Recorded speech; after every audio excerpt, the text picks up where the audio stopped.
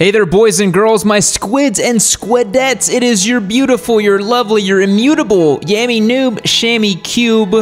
Whammy dude? One of those ought to work. You may have seen our recent video about the most expensive motorcycles from each manufacturer. Well, that seemed to offend all the cheapskates in the audience. So, to make it up to you, today I'm going to highlight the least expensive motorcycles from every manufacturer.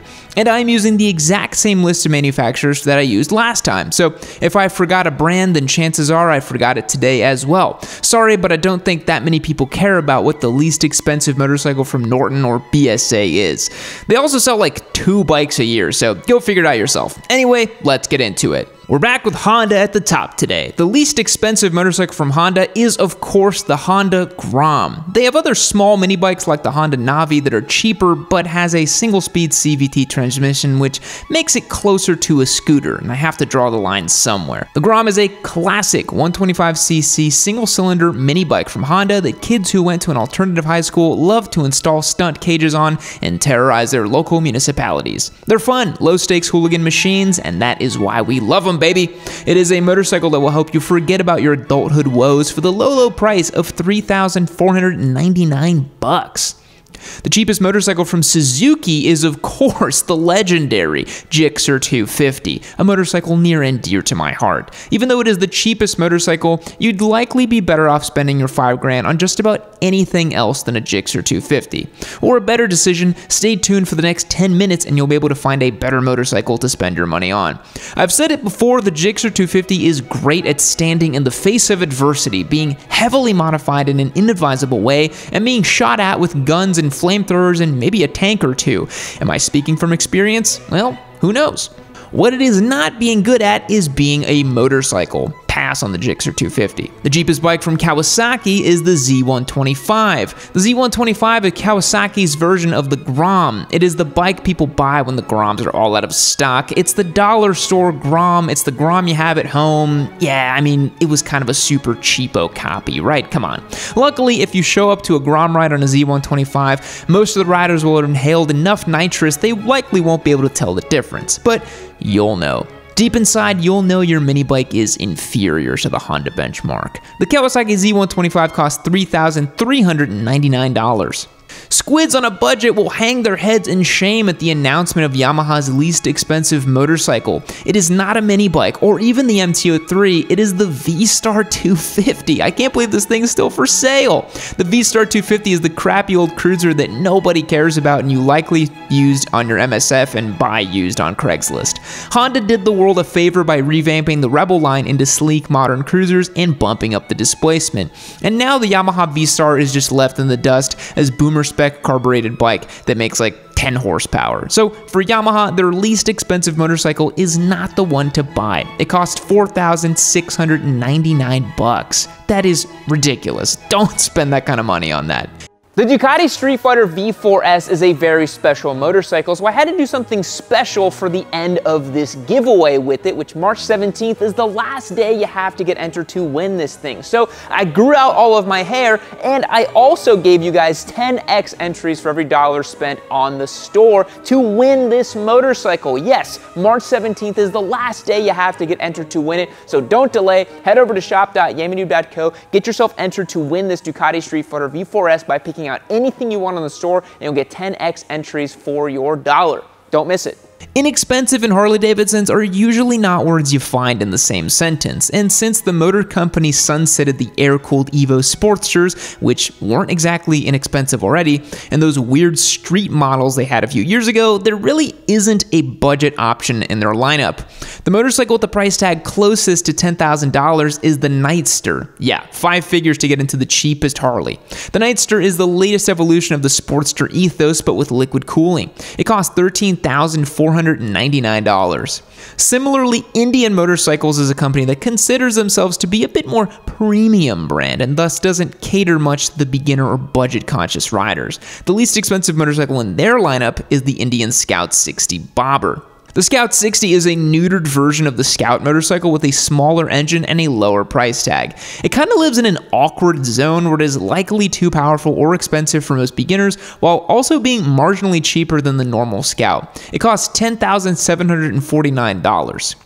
The cheapest motorcycle from Triumph is the new Trident 660. Well, I guess it's not that new anymore, as it's been a few years. The Trident is Triumph's entry into the beginner middleweight naked bike class, akin to motorcycles like the MT07. In typical Triumph fashion, the Trident is powered by a 660cc three cylinder engine. And it is kind of neat to see a smaller displacement triple instead of a twin that most bikes in this class use. Pretty unique. It makes about 80 horsepower and 47 foot-pounds of torque. It has Showa suspension and Nissin brakes and costs 8,595 bucks. Pretty good for entry point of the Triumph brand if you ask me. Am I biased? Of course I am. Ducati is also a company that is not known for having particularly inexpensive motorcycles, but their Scrambler lineup has posed to be fully of budget-friendly offerings for people who still want to appreciate the charm of an air-cooled L-twin, not a V-twin. Don't you dare get it twisted. The cheapest of the Scrambler bunch is the Scrambler Icon, which has an 803cc air-cooled L-twin that makes about 74 horsepower and 48 foot-pounds of torque. But the Scrambler lineup has seen a huge tech update this year and now features a TFT dash, up and down quick shifter, and multiple rider aids. Altogether, it's not a bad package for something carrying the Ducati name coming in at $10,995. And come on, they're so good to look at. Look how good they look. Motorcycles from Aprilia can also get you a lot of bang for your buck, and the Tuono 660 is a great example of that. The Tuono 660 features a spicy 270 degree crank parallel twin that is pushing about 100 horsepower. It has semi-adjustable suspension and Brembo brakes. It's an all-around great bike that's perfect for around town riding or taking it to the track. The Tuono 660 costs $10,695, and if you like the sound of this motorcycle, we're actually giving away a Tuono 660 factory for our intermediate motorcycle giveaway. You can get entered to win by joining our community or purchasing riding gear on the site. Just a little shameless plug right there. Hope you don't mind. Many companies have found that in order to expand their global footprint and attract more types of riders, they need to produce some motorcycles in countries with cheaper production and costs. That is exactly the case for the BMW G310 GS. Now, I did want to take a moment to shout out that many international audience members are now clamoring and have probably already written comments saying that, yeah, me, these aren't the cheapest bikes. I have cheaper bikes by this manufacturer and where I live. I don't care where you live. I live in America. I'm doing American stuff. Don't at me. The 310 GS is manufactured in India, which is the only way anything with the BMW badge would cost less than 5 grand. This bike is powered by a 313cc single cylinder engine that makes 34 horse and 20 foot pounds of Torgos, which is about as much power as the old air cooled BMW Boxer motors used to make. It's a pretty basic entry-level bike with a nondescript suspension and brakes and has a base MSRP of 4,995 bucks.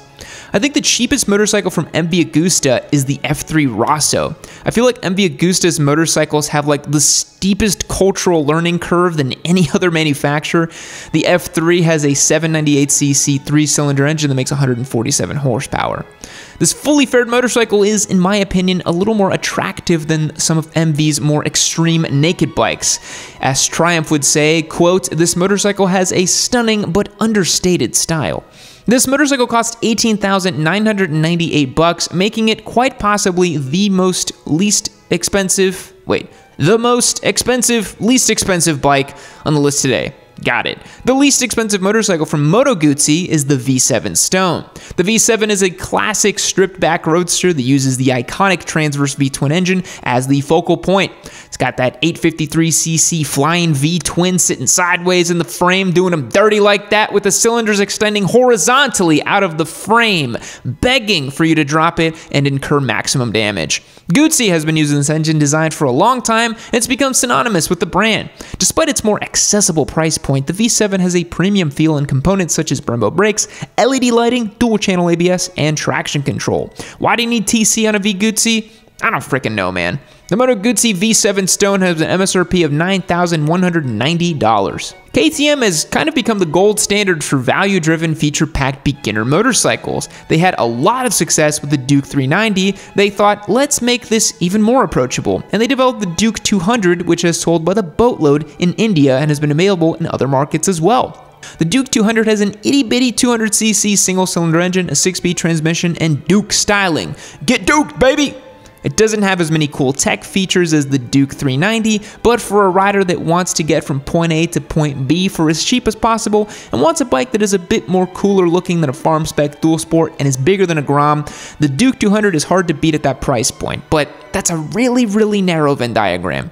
This bike is an MSRP of 4,199 bucks. Husqvarna technically has two equally priced motorcycles as the least expensive in their lineup, that being the Svartpilen 401 and the Vitpilen 401. We had the Svartpilen 401 as a giveaway motorcycle a few years back and we were really impressed with how much it offered for the price point. Both motorcycles are powered by a liquid-cooled 373cc single-cylinder engine that makes about 44 horsepower. The Svart has a bit more of a scrambler aesthetic with semi-knobby tires, spoked wheels, and a skid plate, while the Vit is styled more in the vein of a futuristic neo-retro cafe racer. Just like KTM, Husky makes sure their bikes are packed with components that are slightly above what you may expect from a beginner bike like WAPA WP Apex suspension, ByBre brakes. Both versions of this motorcycle cost $5,649. The last manufacturer on the list is the self-proclaimed king of inexpensive motorcycles, and that is Royal Enfield. The least expensive bike on their roster is the Classic 350, coming in at just a few dollar signs cheaper than the Meteor 350. The Classic 350 has everything it needs to be technically classified as a motorcycle and not much else. It has an air-cooled single-cylinder engine that makes about 20 horsepower and 20 foot-pounds of torque. It has classic styling with spoked wheels and a solo seat. Despite its incredibly low point of entry, it still comes equipped with ABS from the factory, which is a nice touch. The Royal Enfield Classic 350 costs just 4,595 bucks. You're not going to find many other full-size motorcycles that are that inexpensive.